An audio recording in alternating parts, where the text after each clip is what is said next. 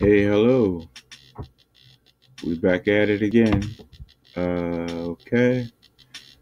All right, now if you watched the previous shorty I did before this short video, shorty, uh, about um, sharing as well as elastic thread. Yeah. So I was researching my sharing, I read as far as what I'm going to say, I found I saw the elastic thread in it. That also came to mind. All right, now. So how do we use these techniques, right? Or what we use these techniques for? See here. See, you go to a yard sale. Uh, maybe you already have one or you go to the uh, other place and i always forget salvation army store okay and you find a, a denim vest or you have a, a you find a denim jacket right and or maybe you had a denim jacket and you turned it into a denim vest and you really loved love it but you want it to be a jacket again right so you just want to add sleeves to something already. You know, adding sleeves to a denim vest or could be a leather vest, could be almost anything. All right. The technique uh, I'm, I'm going to show you today could be used for just about any vest, even this one here, even that vest, though it would be uh, a little odd that vest looked like my pattern I lost a couple years back. Anyways. All right, so we go now to the lesson. All right, uh, this this is a uh, mutton sleeves, right? Mutton sleeves. Let me get rid of all this other stuff.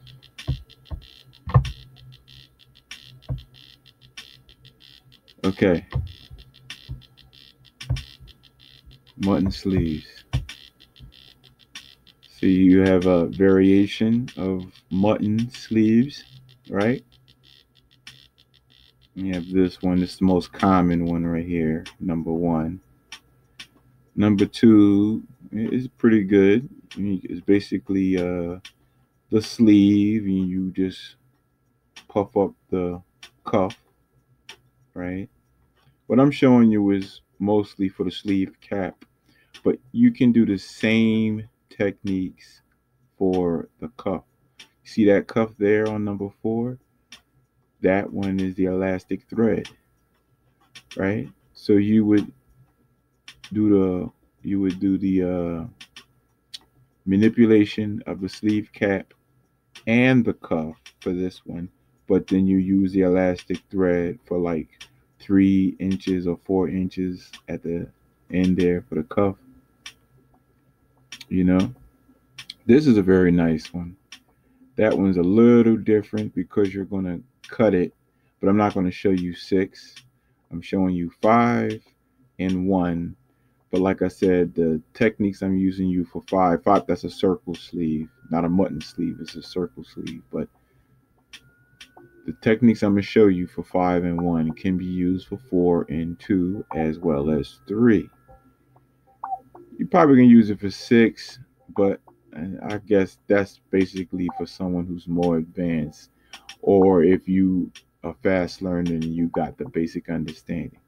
Okay, so we start with our sleeve sloper as usual right here you know you trace it on to a blank piece of paper. The piece that we are going to uh, cut and manipulate and all of that of course. And I always speak about the paper make sure it's 45 inches wide. For a sleeve, you can use a 36 inch wide paper. You know, buy it at Staples online or many other places online, or you can go into a Staples store or art supply store. You know, here in Texas, they got a Hobby Lobby. you can get this from Hobby Lobby. Mostly everything you need you can get from Hobby Lobby. I've been there, so Hobby Lobby is nice if you're on this side of the states, right? Okay, so we trace it, trace our sleeve sloper. Make sure you got your notches, back notches, front notch, shoulder notch, you know. Now, for the mutton, right, you're going to cut this cap right here. So you would draw a line from that corner to that corner, right? And you will cut this cap off. Oh, and make sure you have this line here. That's the center of the sleeve. Do not get that confused with the shoulder notch, which is right here. Right? Shoulder notch, center of the sleeve. That's also your grain line. That's the way you want to line it up, the grain. And just to mention a little bit on the grain line, it's straight, of course. So how would you match that up? Just say the edge of your fabric, the salvage edge, the natural edge, the side is right there, right? So you would measure, you would measure from here to here whatever that distance is, you do the same thing at the bottom from here to there. That makes sure that you have the straight grain of your fabric, right?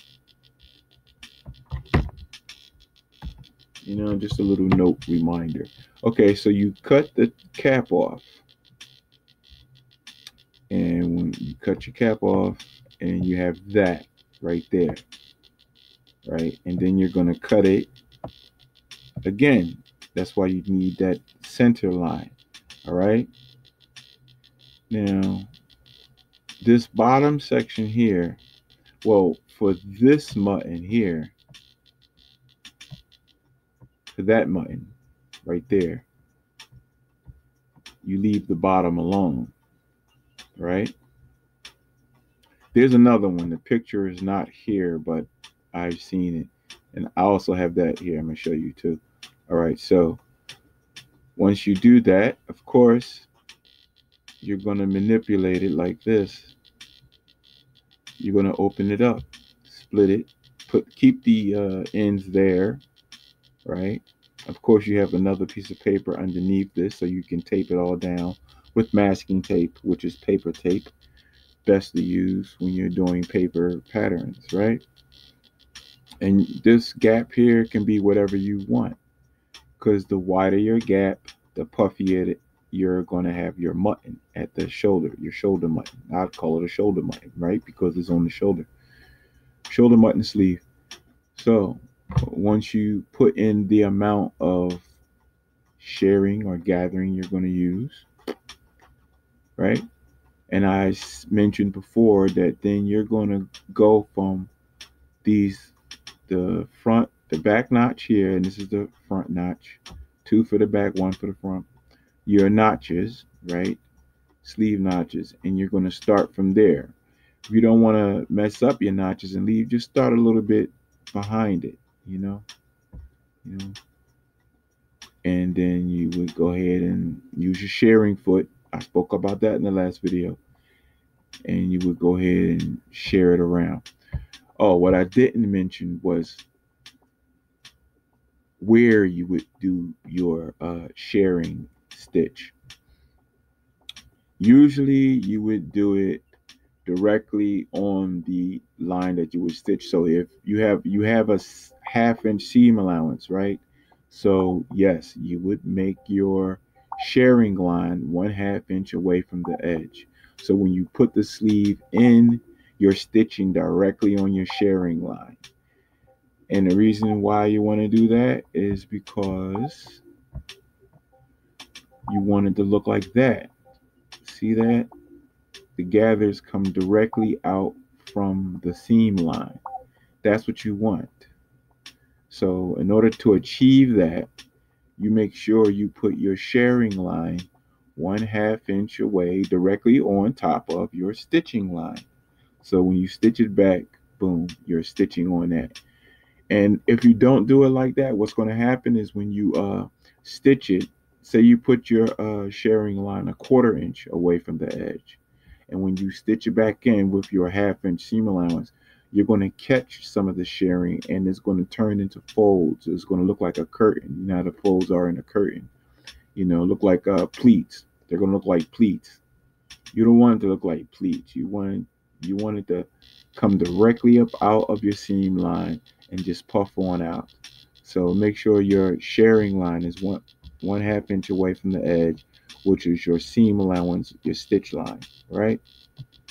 So once you get the amount of puff you want and you trace it, I mean you uh tape put your paper underneath it, you tape it all down, and you already know where you're going to share it from and how much, half inch, and you go ahead and do that. Now the other one is this one.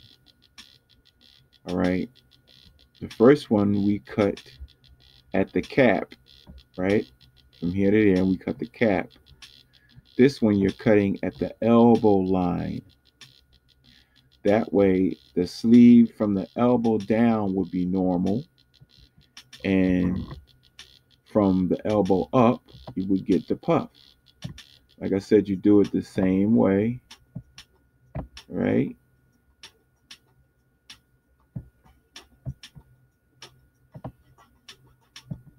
Oh, I forgot that. Let me fix that. I forgot to make my uh, notches part of it. One sec. One sec.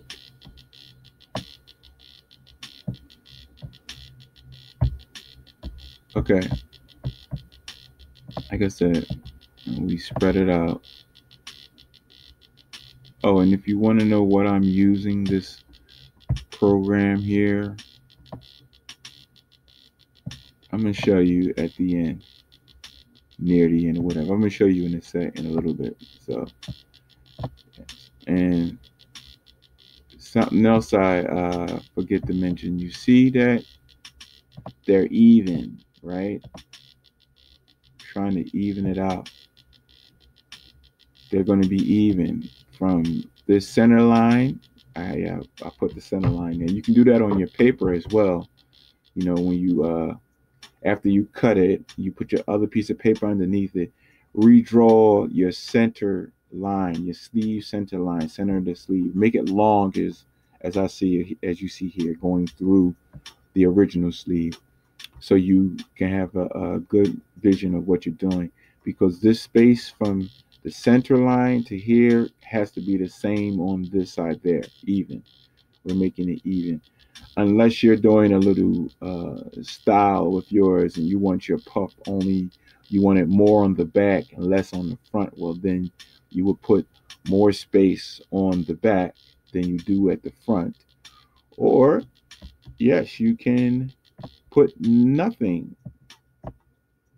on the front and put everything on the back. Right?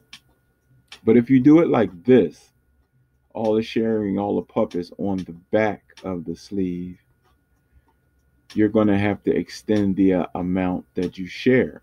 Because I said before, you would start from here at the notch. So if you're only going to put it on the back, you would go a little bit further past the notch, right? To do your sharing line up and then maybe come a little bit past the center front, just a little, you know. That's something I just thought of. Oh, wow. My notch. I didn't put it right. All right, so yeah. And you would do this the same way redraw your cap line using your hip curve. And the same thing, you would start from the notch, share around to the other notch, right? Now, since you have this center line there, so where would your shoulder notch be? Of course, your shoulder notch would be a little bit from center towards the front. It will be right there. Right? So when you're sharing it, you know, it will be when you share it and all the gathers together, it will be a little bit difficult to see the shoulder notch. But if you cut the shoulder notch into the fabric itself, once you do the sharing, you'll be able to find it because it'll be the only uh, section of the seam allowance that's split. And only make your notch, your cut, 3 eighths, quarter of an inch. If you make it a half inch, you're going to have to stitch behind that, which means you're going to stitch up more than a half inch, and that's going to mess up your sewing. So be mindful of that, right? Now, the circle sleeve. Aha. Now, it's just going to be, you start with this part here, the inside circle, right? The inside circle. It's not going to, I must have made it all one piece already. So you start with the inside circle, perfect circle. Now, the size of your circle is going to depend on your sleeve. So you would measure the sleeve from the from the the front the side seam to the shoulder seam, front, back, right? So this would be your side seam. You would measure from uh, inside whatever wherever you're going to put the sleeve, right? Whatever that side seam to the shoulder notch measurement is, right? For both front and back, you would add them up together, and then that's what you this circle would have to be from here going all the way around will have to be the same as the total of your front sleeve and back sleeve uh, in the arm socket measurement. Whatever that total is, that's what this is going to have to be, this circle. Yes, it's, it's going to be a little tricky making that circle and getting it, but you might have to make a few circles before you get that one circle that is the exact measurement of the front and back sleeve armhole measurement. You see, you still put your notches there, two for the back, one for the front, and the shoulder seam, right? Make sure you have that, your notches for it. And now, this space from the, this is going to be the cutout part right there, of course. Now, whatever, however you want the length of your sleeve, you see here, that's like uh it's not even elbow length this sleeve. It might be a little it might be elbow length. It might be a little shorter than elbow length right? So whatever length you can have a full length circle sleeve. You know when you put your arms up it look like wings all right? So but whatever the length of your sleeve that's what you're going to do from this out this inner circle out here to your other circle so if it's uh, your elbow is usually 12, 13 inches, right? So this space would be 10 inches, 10 inches and a half. Half inch is going to be for your rolled hem. It's going to be a rolled hem for a circle sleeve. So you would measure 10 inches all the way around, all the way around, and draw your next circle. You know, measuring 10 inches, mark it, 10 inches, 10 inches, 10 inches, 10 inches, mark it, redraw the next circle, and you cut one right there. Or you don't have to cut, but if you cut it, it makes it easier, you know. And then start from your side seam, stitch around, make sure your shoulder notch hits your shoulder seam on your garment, and then go on back around, finish it off. And when it falls, of course, it looks like that, number five here. It's very nice. The circle sleeve is very nice. If you want to be classy or whatever, it's very classy. And if you haven't noticed, I am someone who loves the 40s and 50s, some 60s garments. I love the dresses and the, the clothing from the 40s, 50s, and 60s. My favorites. All right, so you have your mutton sleeve, from the elbow, mutton sleeve, sleeve cap. Oh, one more thing. Now, another trick you can do with the elastic thread. Okay, if you use this one or that one, it doesn't matter. You can do the elastic thread and stitch it going across this way to make this part fitted to the sleeve, to your body, to your arm. This part will be from the elbow to the cuff will be fitted to your sleeve with the elastic thread, which will make it stretchy, nice and comfy. And then you, you will have your mutton. Or you can just do like the other one and just only do three inches right here from here, three inches up, and just do a couple of lines of the uh, elastic thread. And I would suggest if you do when you stitch the elastic thread lines, make them a half inch apart. I mean, you can make them a quarter inch apart, but make them a half inch apart, three quarters of an inch apart. It, it, it looks it's much nicer and neater when you do them a half inch or three quarters of an inch apart. It's up to you. Or another thing I I thought about, do it from here to here. All right, what would be the cup will be three inches, right? So three inches away from that edge, like that. So you would do your stitch elastic stitch lines this way. Elastic thread stitch lines like that. Half inch apart, going all the way over. It, that's just a nice little, you know, a little nice style, you know. People see your sleeve, they're going to be amazed and like, ooh, ooh, that's nice. Where'd you get that from? You know, just a little something. So you have your mutton sleeves. And like again, watch the uh, previous video before this to where I just go. I'm talking only about the sharing and the elastic thread. All right. Yeah, this this mutton this mutton sleeve I just talked about here with the elastic thread is kind of like this, you know, without cutting a separate piece because these are two separate pieces, right? But you can do the same thing with the elastic thread, one piece, you know. Oh, and this, same thing, but this is a little different. Maybe next time, leave a comment if you want to know about this particular sleeve here. You know, say something about it in the comments, mention it in the comments. And of course, I'll do a lesson on that. All right, so that's it. And you know what I say? Hold up. I gotta be fly with it. You know I have to be fly with it.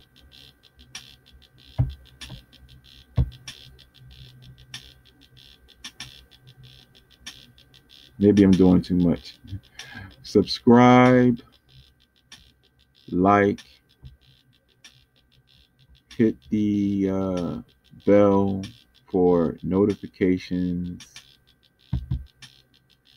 and I will see you next time on the next video. All right? Enjoy.